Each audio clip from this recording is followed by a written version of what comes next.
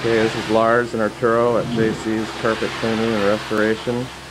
Uh, restoring uh, commercial glue down carpet tiles.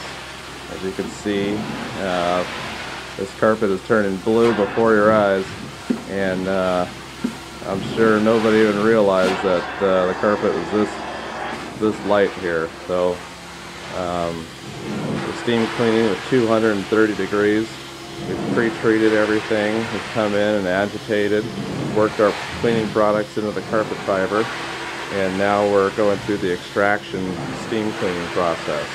So um, this is cleaning up really nice here and uh, restoring the carpet tiles and uh, creating a nice, clean, safe environment here. So this is Lars at JC's Carpet Cleaning and Restoration. Thank you.